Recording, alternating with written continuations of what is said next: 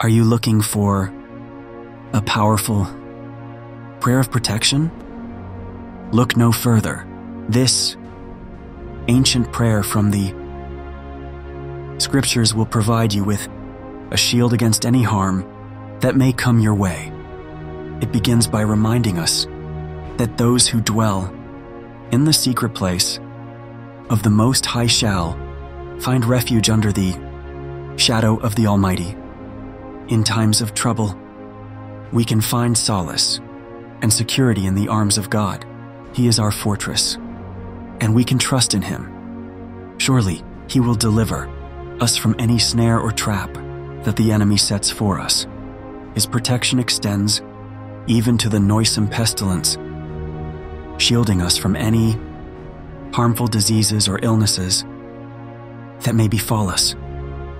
Just envision this God will cover you with his feathers, and under his wings, you can safely place your trust. His truth will act as your shield and buckler, defending you against any attacks that may come your way. Remember, there is no need to fear the terrors of the night or the arrows that may fly by day.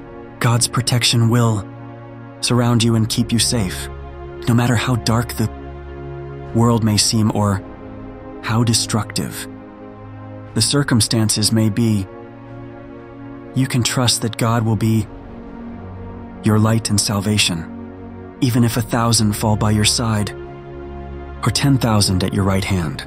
You will remain unharmed. Evil may surround you, but it will not touch you.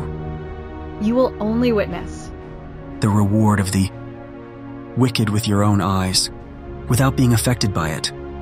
Why can we have such confidence in God's protection? It is because we have made Him our refuge, our habitation.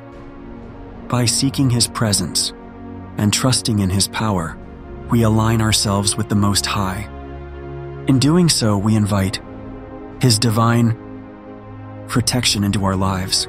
So, whenever you feel the need for protection or find yourself in a vulnerable situation, recite this powerful prayer. Let the words resonate within your heart and believe in the Almighty's shield over your life. With God as your refuge, fear and harm will never overtake you.